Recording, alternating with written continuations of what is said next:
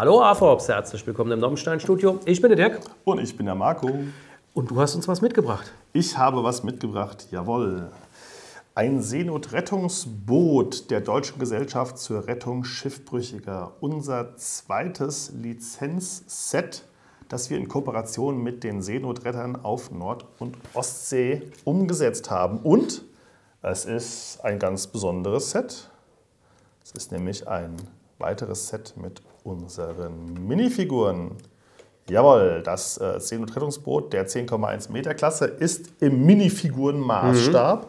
Und es sind zwei Seenotretter enthalten. Die natürlich äh, authentisch äh, gekleidet sind. Die sind, mir die sind authentisch gekleidet, genau. Da sind alle, da, da ist so ein spezielles Rettungsgeschirr mhm. und so, das ist alles dabei. Äh, die Helme sind entsprechend bedruckt, so wie sich das gehört. Und äh, ich meine, die haben ja nicht immer die Helme auf. Deswegen ja. haben wir auch zwei Haare. Genau, die kommen auch immer mit braunen Haaren und Zopf und einmal wuschelig, genau. Ja, das sind ja auch zwei auf der Rückseite der Packung genau, steht's. gucken wir mal drauf. Äh, das sind Arvid und Lisa. Die haben sogar Namen. Die haben Namen und die Namen haben einen bestimmten Hintergrund. Okay, und was ist das für ein Hintergrund? Das ist eine sehr gute Frage. Äh, diese Frage habe ich ähm, weitergegeben an äh, die Seenotretter, denn die haben diese Namen uns äh, vorgeschlagen. Und ähm, so Fragen wie, warum ist das jetzt so ein Boot und kein Schiff und wo braucht man das und so. Wäre und, die und, die Namen, und, die Namen dieser, und die Namen dieser Leute. Darüber habe ich ähm, mit jemandem gesprochen, der es wissen muss, und zwar mit dem Herrn Stiebeldey von den Seenotrettern, der dort für die Presse- und Öffentlichkeitsarbeit zuständig ist, mit dem ich mich ja auch im letzten Herbst in Warnemünde getroffen habe, an Bord der Arcona, des äh, Schwesternschiffs der Berlin, unseres Seenotrettungskreuzers. Und ähm, dieses Mal, ich dachte ja schon, ah, ich kann wieder zur Nordsee. Er dachte auch, mhm. kann, ich treffe wieder an der Nordsee. Nee, ich durfte nicht. Ich durfte nur hier drehen. Aber ich habe mir den Herr Stiebelei über Teams zuschalten lassen. Und ich würde sagen, das, das Gespräch gucken wir uns jetzt erstmal an. Genau. Film ab. Moin, Herr Stiebeldei. Wie geht's Ihnen? Schön, Sie wieder zu sehen. Ja, moin aus der Zentrale der Seenotretter aus Bremen.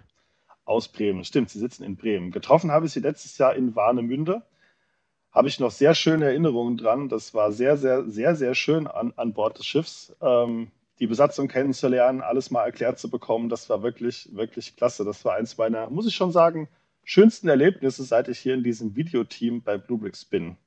Ja, hat uns auch Spaß gemacht. Heute aus der alten Hansestadt Bremen, wenn ich hier so aus dem Fenster gucke, sehe ich die Weser vor mir und wenige Schritte von meinem Büro entfernt befindet sich die von uns betriebene Deutsche Rettungsleitstelle See. Also hier aus dem Herzen von Bremen werden so pro Jahr rund 2000 Einsätze, die die Seenotretter auf Nord- und Ostsee fahren, koordiniert. Das haben Sie mir letzten Herbst ja schon erklärt. Wer das noch nicht weiß, was genau die Seenotretter sind und machen, unbedingt unser Video schauen äh, zum Seenotrettungskreuzer. Da wird da genau drauf eingegangen, unter anderem auch, dass sie ja wirklich hoheitliche Aufgaben vom, von der Bundesrepublik Deutschland übertragen bekommen haben. So ist es. Die Deutsche Gesellschaft zur Rettung Schiffbrüchiger ist die zuständige Organisation für den maritimen Such- und Rettungsdienst in unseren Gebieten von Nord- und Ostsee. Genau, und da ich leider nicht freigegeben bekommen habe, zu Ihnen an die Nordsee zu kommen, um mir unser neues Seenotrettungsboot im Original anzuschauen. Schade. Machen wir the next best thing.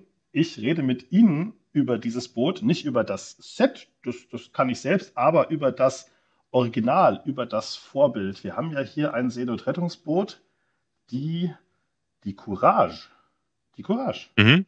Ja, wir sagen Courage, denn so haben es sich die Spender des Bootes gewünscht. Spender aus Niedersachsen, die diesen Neubau finanziert haben, der oh. gut eine Million Euro teuer war und die sich gewünscht haben, dass in Anerkennung und Würdigung der Leistungen unserer freiwilligen Besatzungen das Boot diesen, ja, wie wir auch finden, sehr sprechenden Namen für dieses Engagement bekommt. Ja. Also so ähnlich wie in Zivilcourage ausgesprochen, ja. soll es eben Courage genannt werden. So meldet es sich auch über Funk.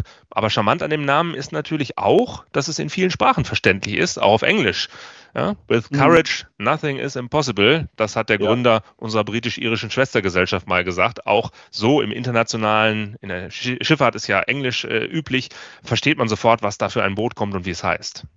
Ja, ich habe ja in der, in der Broschüre, in der, das heißt Broschüre, in unserer, haha, in unserer Bauanleitung, wo ja die ersten beiden Doppelseiten sich wieder mit den Seenotrettern und mit den Seenotrettungsbooten befassen, auch einige andere Namen gesehen. Hier äh, Horst Heiner Kneten, äh, Erich äh, Koschups. Sind das dann teilweise auch Spender oder irgendwelche Personen, die halt mit den Seenotrettern in Verbindung stehen, in Verbindung standen? Ja, das sind äh, durchaus auch manchmal Nachlässe, also Menschen, die nicht mehr leben und ihren Nachlass zugunsten der Deutschen Gesellschaft zur Rettung Schiffbrüchiger geregelt haben. Aber manchmal sind es auch sehr neutrale Namen wie Nimanoa oder Nausikaa. Sagengestalten oder gute Geister der Schifffahrt. Also Wünsche von Spendern, die wir berücksichtigt haben. Manchmal sind es aber auch regionale Namen, wie beispielsweise der unmittelbare Vorgänger der Courage auf der Station Neuharlinger Siel. Dieses Seenotrettungsboot hieß nämlich auch Neuharlinger Siel und damit wird gleich das Engagement einer ganzen Region für die Seenotretter gewürdigt. Mhm. Und wo ist diese Station Neuharlinger Siel? Siel klickt für mich nach Nordsee, ist das richtig? Ja, Neuharlinger Siel liegt im Herzen Ostfrieslands tatsächlich, einer der bekannten pittoresken kleinen Kutterhäfen dort. Äh, der sehr urtümlich und historisch daherkommt, aber eben kein Museumshafen ist, sondern da pulsiert das Leben. Da liegen immer noch anderthalb Hände voll Fischkutter, die aktiv rausfahren und fischen. Mhm. Und Neuhallinger Siel ist eine unserer ältesten Stationen, schon vor fast 160 Jahren auch gegründet worden, damals mit Ruderrettungsboot und Raketenapparat. So waren die Seenotretter zu der Zeit unterwegs. In Neuhallinger Siel gab es keinen Raketenapparat, denn das Wattenmeer hat äh, es ermöglicht, dass man auch kleinere Strecken besser rudern konnte und eigentlich da direkt von Neuhallinger Brasil keine Schiffe strandeten, denen man eine Leine hätte zuschießen müssen. Von daher war das eine reine Bootstation. Aber ein sehr traditionsreicher Standort mit, einem kleinen, einer kleinen Ausstellung in unserem Rettungsschuppen dort, mit einem alten Motorrettungsboot drin, wo man ohnehin sehr viel über die Seenotretter erfahren kann. Raketenapparat. Ich habe den letzten so, den Rest nur so halb gehört, weil Raketenapparat? Was bitte ist ein Raketenapparat? Das klingt ja abgefahren. Vor 160 Jahren hat man sich Gedanken gemacht, wie man die Seenotretter davor schützen kann, in das Ruderrettungsboot zu steigen und sich selbst in Gefahr zu bringen. Wenn das nicht unbedingt nötig war und Schiffe in relativer Nähe vor der Küste gestrandet sind, hat man versucht, eine Leinenverbindung von Land aus zu einem gestrandeten Schiff herzustellen. Ah, Und dazu hat man einen Raketenapparat entwickelt. Anfangs hat man das mit Kanonen gemacht, mit Mörsern. Da ist die Leine aber oft gerissen, die an der Kugel befestigt war, denn Anfangs- und Endgeschwindigkeiten sind gleich. Aber bei Raketenapparaten ja. steigert sich im Verlauf des Flugs der Rakete die Geschwindigkeit und hat eben deswegen sicherer die Leine zu einem gestrandeten Schiff getragen. dann musste man diese Leine festmachen und dickere Leinen nachholen. Das war sogar auf so zwei Segeltuchzetteln, damit das auch lesbar blieb. Auch bei Wind und Wetter war das auf Deutsch und Englisch erklärt. Die hat man da mit rübergeschossen, denn man wusste ja nicht, das war ein neues Einsatzmittel, warum schießen die jetzt auf mich? Damit ja. man den Seeleuten erklären konnte, was man dort tun sollte, nämlich diese Leine möglichst hoch am Mast befestigen um eine Art Flaschenzug zu installieren und mit einem Rettungsring und einer angenähten halben kurzen Segeltuchhose es zu ermöglichen, dass die Seeleute da reinsteigen und man sie nacheinander an Land ziehen kann. Das ist ja cool. Okay, ja. Aber gar nicht so weit weg von heutiger Technik. Was ähnliches setzen wir heute auch noch ein. Es gibt noch pneumatische Leinenwurfgeräte, moderne Geräte. Mhm. Der Name sagte schon, heißt nicht Leinenschussgerät, sondern Leinenwurfgerät. Es wird mit Druckluft geworfen, also nicht mehr mit Feuerkraft. Aber auch heute auf See, wenn wir irgendwo längsseits gehen wollen, kann es ja sein, dass das Wetter so schlecht ist oder das Schiff schon beschädigt ist, dass es nicht mehr so einfach ist, dort längsseits zu gehen. Man irgendwie anders aber eine Verbindung herstellen will. Und dann kann man das mit so einem Gerät von Bord aus auch machen. Also auch die Courage hat einen Leinenwurf Wurfgerät an Bord, um das Ganze in kleinerem Sinn auf See zu tun. Die Courage habe ich noch nicht gesehen, aber letztes Jahr im Sommer war ich in Norddeich und da habe ich ein Schwesterschiff, sagt man, ne? Ja, gesehen. sagt man. Hm? Die Otto Dirsch steht hier mhm. auch in der Liste der Stationierung. Ist also auch ja. ein, ein Schiff, also ein Rettungsboot dieses Typs. Ja. Wenn man, die, wenn man da neben denen steht, sehen beeindruckend aus. Ich liebe ja auch diese Farbgebung, da, da, da zieht es mich immer direkt hin. Sie sind aber nicht allzu groß. Das hat aber doch bestimmt Gründe. Warum sind in Norddeich und in Neuharlinger Siel beispielsweise kleine Rettungsboote und nicht so ein großer Seenotrettungskreuzer wie die Hermann Marwede bei Helgoland oder so? Glatt gesagt könnte man sagen, man braucht nicht überall eine Drehleiter, aus Feuerwehrsicht gesprochen sozusagen. Ja. Ähm, die Mischung unserer verschiedenen Rettungseinheiten resultiert aus unserem umfangreichen Erfahrungsschatz und einem immer wieder von uns hinterfragten Stationierungskonzept. Wir gucken also, ob wir die richtige Einheit am richtigen Ort haben. Das sehen wir ja am Einsatzprofil und an den Erfahrungen, die unsere Besatzungen ständig da draußen machen. Mhm. Aber wenn man auf die Reviere mal guckt, dann beantwortet sich diese Frage auch schon ein bisschen. Wir haben es ja hier mit dem Wattenmeer zu tun. Also oftmals mhm. brauchen wir Fahrzeuge, die klein und wendig sind und möglichst wenig Tiefgang haben. Deswegen haben ja. wir unter anderem deswegen die Seenotrettungsboote entwickelt. Wenn wir ein bisschen in unserer Geschichte zurückgehen, dann ist vor über, 60, vor über 70 Jahren, Entschuldigung, der Seenotrettungskreuzer mit Tochterboot entwickelt worden. Auch deshalb schon, um ein Fahrzeug zu haben, das eben ein kleines Tochterboot aussetzen kann und im flacheren Wasser auch einsatzklar ist.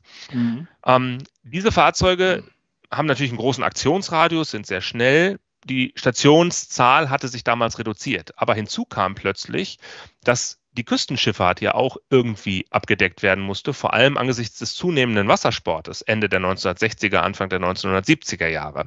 Und deswegen haben wir sozusagen dauernd abgesetzte Tochterboote, nämlich die Seenotrettungsboote entwickelt, die rein von freiwilligen Besatzungen gefahren werden, so wie damals die Ruderrettungsboote. Also auch mhm. das eine schöne historische Parallele. Ja. Und diese kleinen Boote waren anfangs sehr einfach gehalten, 50, 60 PS Maschinen, fünf bis sieben Meter lang, mit denen man erstmal experimentiert hat. Dann sind eine ganze Reihe sieben Meter Boote gebaut worden und dann hat es nachfolgende Generationen gegeben. Neun Meter Boote, achteinhalb Meter Boote in den 90er Jahren und schließlich Ende der 90er Jahre das 10 Meter Boot, das zunächst 9,5 Meter lang war und das wir dann zweimal weiterentwickelt haben. Das heißt, wir sehen jetzt mit der Courage die dritte Generation einer sehr erfolgreichen Bootsklasse. Viele unserer Besatzungen sagen, das ist der beste Wurf, den die Deutsche Gesellschaft zur Rettung Schiffbrüchiger jemals entwickelt hat, dieser Schiffstyp. Äh, wir haben ihn über 30 Mal im Einsatz, also mehr als die Hälfte mhm. unserer Stationen wir haben 55 Stationen in Nord- und Ostsee, 60 Rettungseinheiten. Mehr als die Hälfte unserer Stationen und Einheiten ist mit diesem Schiffstyp besetzt. Er ist wirklich sehr stark, sehr wendig. Er ist nicht extrem schnell, das muss er auch nicht sein, denn unsere Stationsdichte ist hoch. Er ist sehr sicher, er ist äußerst seetüchtig gebaut, genauso konstruiert wie die großen Seenotrettungskreuzer im Netzspandensystem aus Aluminiumspanden ganz eng und dicht gebaut, sodass er auch Grundberührungen gut überstehen kann. Das ist ja wichtig. Mhm. Wir reden ja hier von, ich sag mal, wie, wie es einer unserer Vorleute gesagt hat, wir fahren dahin, wo es weh tut. Also wir haben möglicherweise im flachen Wasser Grundberührung und all das können diese Schiffe aushalten. Und natürlich ist auch dieses Fahrzeug wie alle unsere Einheiten, das gilt aber auch für die großen Seenotrettungskreuzer, ein Selbstaufrichter. Das heißt, es richtet sich aus jeder Position das, ja, selbst wieder ja. auf. Das heißt, wir haben hier im Endeffekt den modernsten, ist das richtig, den modernsten Schiffstyp der Seenotretter als, als Set?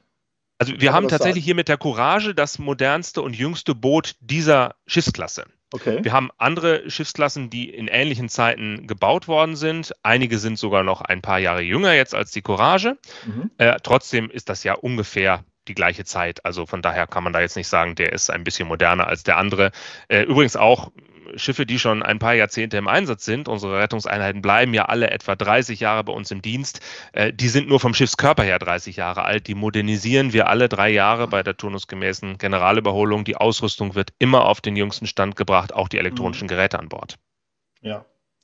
Ja, und wenn die Dienstzeit bei den Seenotrettern dann nach 30 Jahren oder so endet, ist das ja noch nicht unbedingt das Ende der der Schiffe. Ich habe gerade am Richtig. letzten Wochenende ein wunderschönes Video auf Ihrem Kanal, sehr zu empfehlen übrigens, gesehen, wo ein Seenotrettungskreuzer überführt wurde von Deutschland über den Atlantik nach Uruguay zur Marine, ja, wo er mittlerweile ganz der, besondere Reise.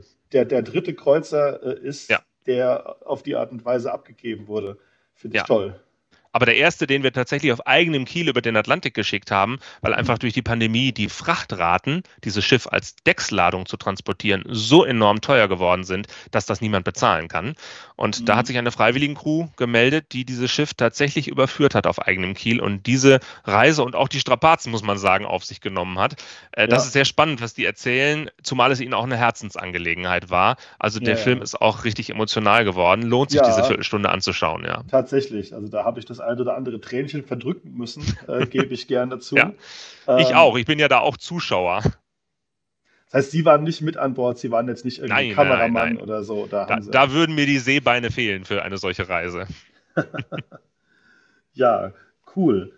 Ähm, wir haben hier zum ersten Mal auch ein Seenotrettungsboot im Minifigurenmaßstab und es sind ja auch zwei Minifiguren dabei. So ist es ja. Das die freut uns besonders. Mit, die habe ich hier gerade mit Helmen. Es liegen aber auch Haare bei. Man kann ihnen die Helme also auch ausziehen. Und ja. ähm, diese Minifiguren, die gibt es auch noch ohne das Boot. Aber nicht bei uns.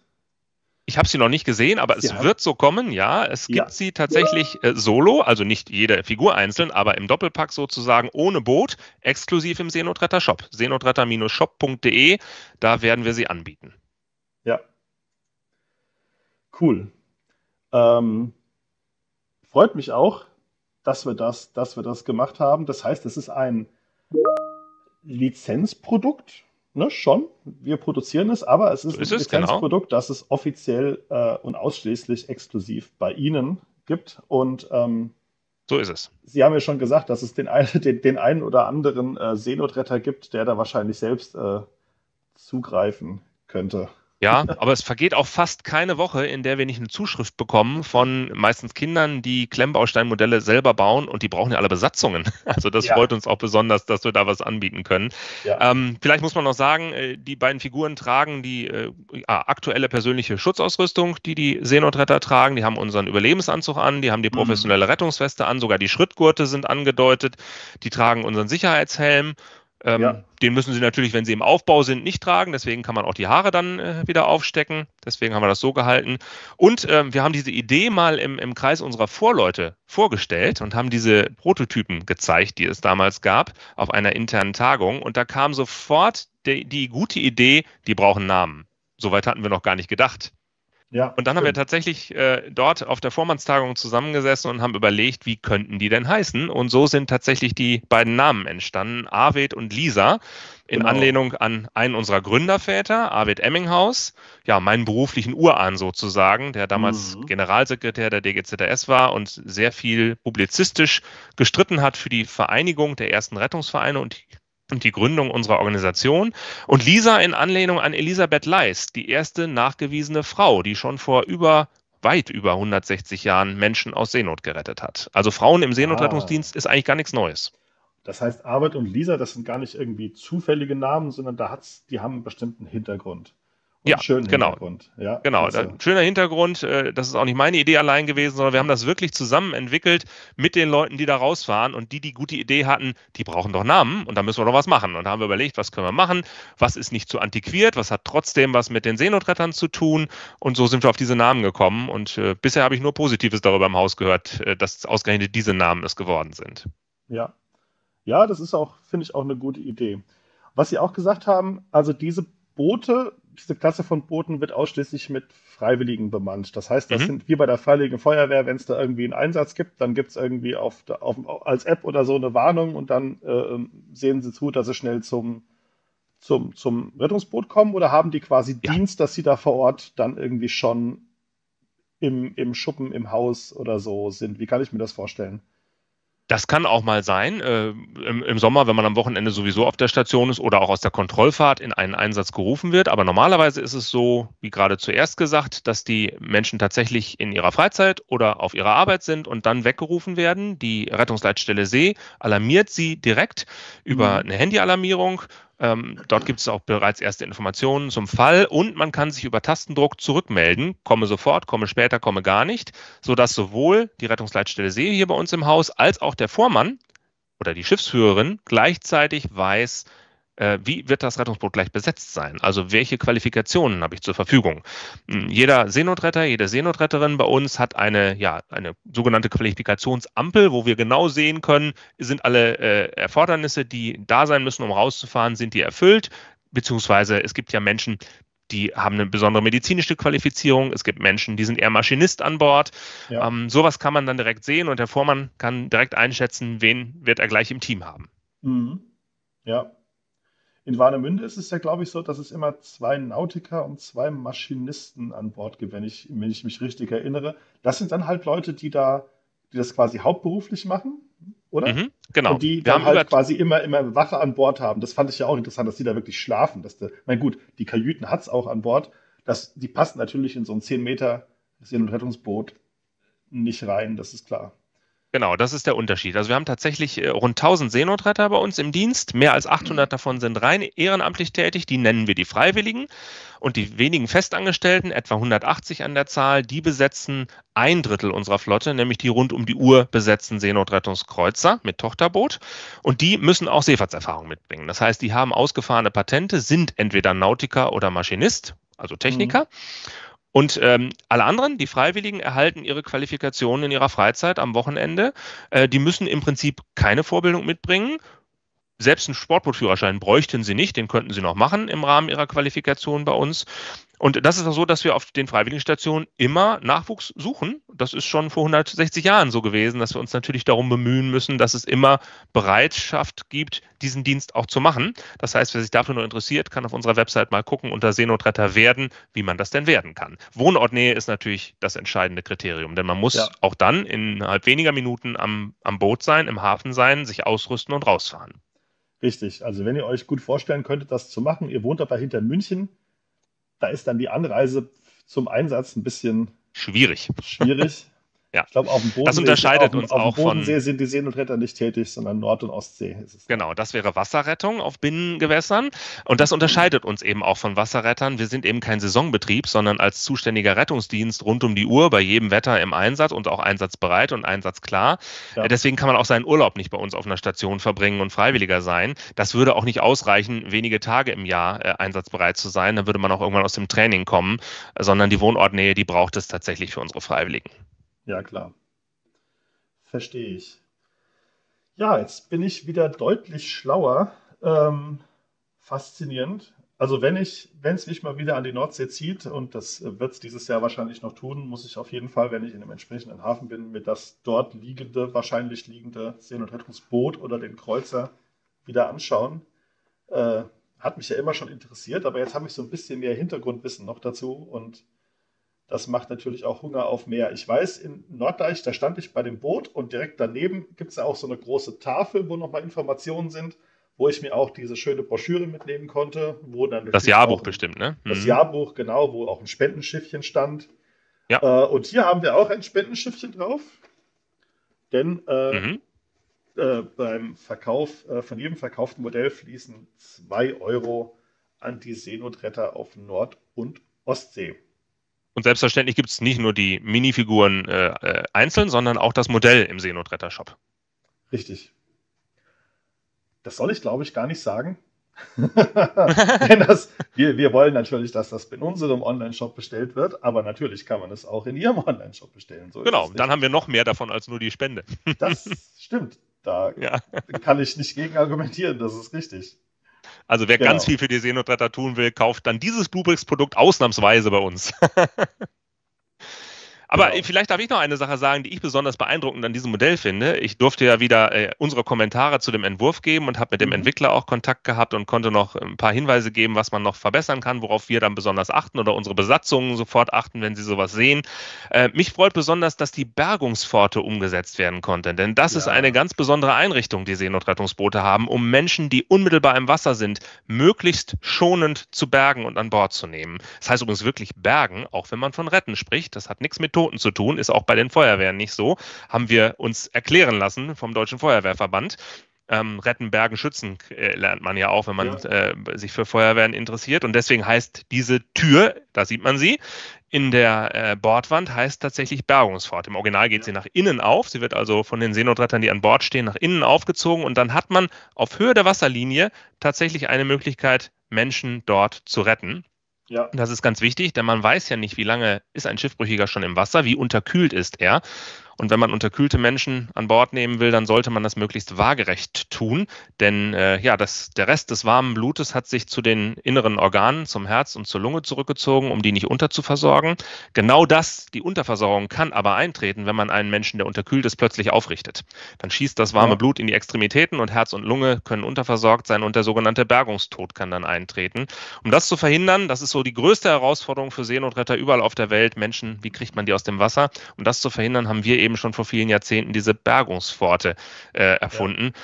Und das ist, ist eine Besonderheit dieser Fahrzeuge, haben die kleinen Tochterboote der Seenotrettungskreuzer auch. Mhm. Ähm, damals war das natürlich nicht zu realisieren, denn das ist ein etwas anderer Maßstab. Aber hier, bei diesem Maßstab, beim Minifig-Maßstab, konnte der Entwickler das umsetzen. Und das finde ich ganz toll, dass er das hingekriegt hat. Ja, die Bergungspforte habe ich mir ja auch zeigen lassen, als wir an Bord äh, in, in Richtig. waren. Auf ja. der, jetzt muss ich gerade überlegen, was die Arkona? Ja, war die Arkona, Arkona und das Tochterboot Kaspar. Mhm. Ja, da habe ich diese Bergungspforte auch gesehen. Da habe ich mir als Laie natürlich erstmal gedacht, ja, aber dann kommt da ja Wasser rein. Ja, aber ist ja egal. Ne? Da kommt dann Wasser rein. Ist egal. Ja. Ist ja wurscht, die Leute, sind, die Leute sind gut angezogen und nur weil da Wasser reinschwappt, heißt es ja dann lange nicht, dass das Boot untergeht. Also. Nee, das, das Wasser fließt selbsttätig wieder ab. Das ist tatsächlich eine sogenannte selbstlenzende Pflicht. Pflicht nennt man den offenen Raum hinter dem Deckshaus. Hm. Und selbstlenzend heißt, sie entleert sich selbst wieder. Ja. Ach ja, jetzt will ich wieder an die Nordsee. Ich, will ich auch. Ich will die Nordsee ist ja auch von mir aus gerade ein bisschen weit entfernt. Ja, aber vom aber Leben aus ist nicht mehr so. Von weit, da aus ne? noch mehr, ja, glaube ja. ich. Ja, vielen, vielen Dank, Herr Stiepeldahl, für Ihre Zeit. Ja, sehr gerne. Ähm, ich äh, freut mich sehr, dass wir ein weiteres Set oder sogar zwei Sets, wenn wir das Minifiguren-Set äh, noch dazu rechnet, realisieren konnten. Und ich hoffe sehr, dass es nicht das letzte Set geblieben ist. Wir arbeiten ja auch gerade an so einer eigenen äh, City-Welt, nenne ich es mal, so zum Bespielen, ja, auch für, für Kinder und so. Und da wird es ja früher oder später auch mal einen Hafen geben. Und wo es einen Hafen gibt, da braucht man ja eigentlich auch Seenotretter, meiner Ansicht nach. Und dann würden wir halt was, ein Set entwickeln, das halt jetzt nicht ganz so originalgetreu wie dieses aussieht, dafür aber halt stabiler für Kinderhände ist. Denn so originalgetreu wie das Modell hier aussieht, muss ich fairerweise sagen, die Originalgetreue bringt mit sich, dass es nicht so stabil ist wie ein Spielset für Kinder. Klar. Ne? Ja, ist also ja. kein klassisches Spielset, ist doch eher was zum Hinstellen. Aber das heißt ja nicht, dass sowas nicht noch kommen kann. Also wir ich bleiben sagen, was, was andere Klemmbausteine-Hersteller, die wir hier namentlich ja gar nicht nennen müssen, schon äh, zumindest von der Technik her geschafft haben vor mehreren Jahrzehnten, das könnte man ja jetzt mal so in unser Design bringen. Vielleicht geht da noch was. Genau, richtig. Und da stehen dann auch, steht dann auch Seenotretter drauf und äh, da sind dann auch Seenotretter drin auch entsprechende Figuren. Und wie zwei von denen heißen könnten, das wissen wir jetzt ja schon. Ja, wir gucken einfach Dank. mal, was, was es so für Kommentare geben wird hier. Und äh, das genau. gilt natürlich immer, habe ich beim letzten Mal auch schon angeboten. Wenn es Fragen gibt, kann man uns ansprechen über unsere Kanäle oder eine E-Mail schreiben an info.seenotretter.de, beziehungsweise sind wir auch bemüht, hier unter diesem Video zu antworten. Jawohl, so machen wir das. Dann vielen, vielen Dank für Ihre Zeit und ich hoffe, wir sehen uns bald wieder, vielleicht im Laufe des Jahres schon. Und ähm, ich wünsche Ihnen weiterhin äh, und Ihrer Organisation alles Gute und was sagt man nochmal? Äh, nicht Allzeit gute Fahrt. Ja, und genau, allzeit gute ne? Fahrt und stets eine sichere Heimkehr. Denn wie wir ja am Anfang dieses äh, Gesprächs gelernt haben, die Handbreit Wasser unterm Kiel ist gerade bei den Seenotrettungsbooten gar nicht immer so wichtig. Stimmt. Denn die fahren wirklich dahin, wo es weh tut. Die fahren auch mal auf die, auf die Sandbank ja. quasi drauf. Ja. die setzen auch mal hart durch. Auch, ja. Das kann passieren, ja. Ja, vielen Dank, Herr Stiepeldei, und ähm, bis zum nächsten Mal, würde ich sagen. Ja, ich danke fürs Interesse. Natürlich auch allen, die uns jetzt zugeschaut haben. Alles klar, machen Sie es gut. Tschüss. Danke, tschüss. Ja, das war doch mal interessant. Also das hätte ich jetzt auch nicht erwartet, dass sie da vor über 160 Jahren schon ja. mit Ruderbooten rausgerudert sind. Aber die Seenotretter gibt es schon sehr lange. Ähm, Respekt. Und äh, mittlerweile haben sie ja, wie Herr Stiebeldein auch sagte, äh, diese hoheitliche Aufgabe mhm. der Bundesrepublik übertragen äh, bekommen, auf den, in den deutschen Seegebieten äh, die Seenotrettung zu stellen ja. und äh, die Leitstelle Seenotrettung quasi äh, für die Bundesrepublik zu bedienen. Hochspannend. Jetzt haben wir was über das Boot gehört, jetzt wissen wir, warum das so klein ist, wenig Tiefgang, kann quasi auf die Sandbank drauf fahren und ähm, wir haben ja, das sieht man hier auch sehr schön, es gibt ein sehr dichtes Netz an äh, Stationen, ne? Nordsee, Ostsee, wo äh, ähm, Seenotrettungsboote oder Kreuzer liegen. Und klar, ich meine, die, die Courage, die liegt hier in Neuharlinger Siel. Und das ist an der Küste und da sind Halligen hm. liegen Halligen noch davor. Dazwischen ist das Wasser nicht tief. Nee. Aber auch da können Leute, weil sie zu weit rausgeschwommen sind, Segelboot kennt hat, was auch immer, Surfer, ne, ablandiger Wind, können in Seenot geraten. Und da braucht man so kleine, genau. wendige Boote, die halt auch wirklich aufs trockene Land drauffahren können, auf die Sandbank drauffahren können. Das macht den Schiffen nichts. Da kommst du mit dem Großen nicht hin. Da kommt man mit dem Großen nicht hin, genau. Wenn es dann aber halt um die Schifffahrtsrouten geht, um ja. tieferes Wasser, um höheren Wellengang, da sind dann die großen äh, perfekt. Aber reden wir ein bisschen über das Set selbst. Ich werde es noch zwei, dreimal sagen. Es ist kein Spielset. Nein, dafür ist es nicht konstruiert, denn äh, wenn wir das konstruiert hätten wie ein Spielset, wäre es nicht so originalgetreu, wie es jetzt ist. Genau, es soll in der Optik möglichst originalgetreu sein. Ja.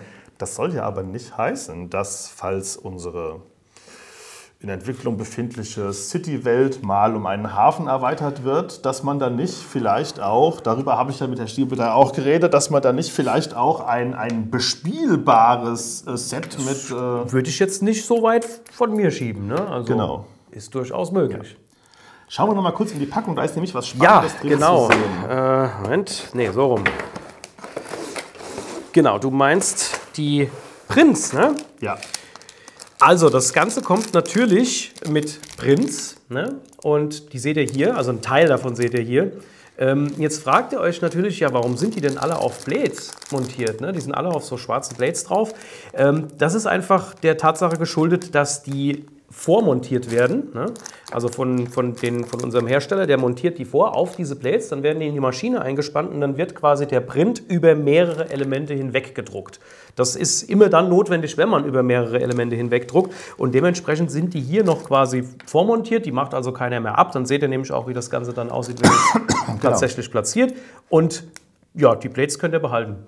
Und dann habt ihr, habt ihr halt keinen Versatz, dann nee. ist das alles auf einer Richtig. Linie, so wie es sein Ganz genau, soll. das ist der Hintergrund, denn wenn man jetzt sagen würde, man druckt jetzt erst das eine, dann das andere und dann das dritte und dann hast du nämlich am Ende das Problem, dass du da lauter Treppchen drin hast, deshalb wird das in einem Rutsch das gedruckt. wollen wir nicht, genau. genau. Wir haben 1116 Teile äh, die sich aufteilen auf vier Bauabschnitte. Das heißt, die einzelnen Bauabschnitte sind kaum mehr als 300 Teile groß. Das ist prima.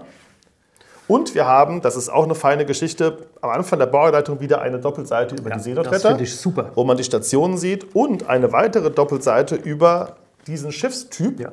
mit Daten wie Antrieb und so weiter und auch weiteren Informationen, wo diese Boote eingesetzt werden, dass die beispielsweise nur von Freiwilligen bemannt sind, während die ja eine Vier-Mann-Crew haben, die in Schichten über mehrere Tage hinweg an Bord wohnen, kochen, schlafen, mhm. Kajüten. Die hast du natürlich hier drin nee. nicht, hast du keinen Platz. Was es da aber so gibt, das können wir uns ja schon angucken, wenn wir ein bisschen vorsichtig sind, denn damit das möglichst originalgetreu aussieht, hängen hier einige Dinge an wenigen Noppen. Ja. Ähm, das ist auch nur lose eingelegt, damit man diese schräge Linie hat und damit man gut reingucken kann. Ist auch cool, dass das hier so, dass du mhm. so eine mhm. kleine Vertiefung hast. Ne? Und jetzt kann man hier mal reinschauen. Das war doch so ein kleiner, ich glaube, Fahrstand hier vorne. Ähm, ist natürlich, unsere Noppenstände sind natürlich dicker als Schiffswände ja. im Original, deswegen ja. ist hier drin etwas weniger Platz, als im Original wäre. Wir haben aber versucht, das Innere möglichst originalgetreu wiederzugeben. Und hier, darüber habe ich ja mit Herrn Stiebel auch geredet, haben wir diese, diese Rettungs... Ähm, ja, er hat gesagt, Namen, ja, das hat diese Namen. Tür, diese Ah, hinten ist auf jeden Fall die Pflicht, das weiß ich schon, das hat er gesagt. Und das ist das eine Detail, was nicht ganz stimmt. Eigentlich geht die Tür nach innen auf. Das geht jetzt hier wegen dieses Rahmens nicht, mhm. da gibt es eine Kollision, aber eigentlich geht sie nach innen auf. Und hier kann man dann die, die äh, äh, quasi zu Bergenden reinziehen, ohne dass man sie aufrichten ja. muss. Ne? Denn das ist also quasi in Höhe der Wasseroberfläche, genau. damit man die einfach ja. so gerade reinzieht. Wenn man sie aufrichten würde, könnten sie den sogenannten Bergungstod sterben, ja. hat er ja erzählt. Ne? Das, das, wenn man auskühlt, das warme Blut zieht sich zur Herzgegend zurück. Wenn man sie dann mal aufrichtet und dann schwappt das warme Blut woanders hin und dann könnte es das gewesen sein. Deswegen müssen die waagerecht bleiben. Ja, ähm, kleines, süßes Set, dessen Antriebswelle ich gerade abgerissen habe. Ich gerade abgerissen habe.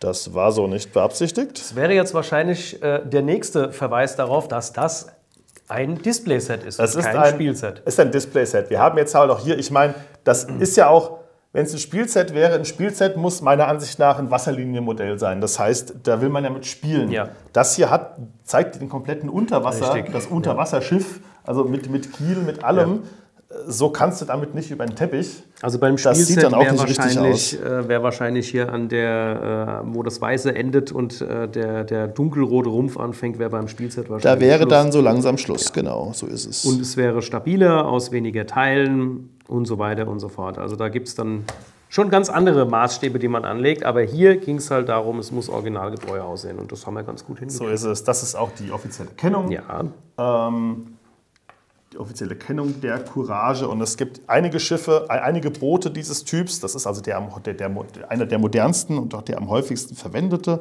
Bootstyp bei den Seenotrettern, wenn ich den Herr Stiebel da richtig verstanden habe. Und ich bin sehr happy, dass jetzt doch relativ kurz nach dem ersten Set bereits das zweite entwickelte Set eingetroffen ist. Und ähm, ja, diese beiden Figuren, die gibt es hier im Set und die gibt es exklusiv auch im Shop der Seenotretter einzeln, also einzeln als, als, Packung, als, als kleines Pack, wo nur die beiden Figuren drin sind. Jawohl. So, jetzt habe ich noch eine Setcard, die habe ich vergessen, deswegen hole ich die mir gerade. Die liegt hier. Haha. Top vorbereitet. Top vorbereitet. Einmal mit Profis. Einmal mit Profis arbeiten. Das Seenotrettungsboot, ein Bluebricks Pro Set mit der Setnummer 107232, 1116 Teile für 49,95 Euro. 23,5 cm lang, 9,5 cm breit, 17,5 cm hoch.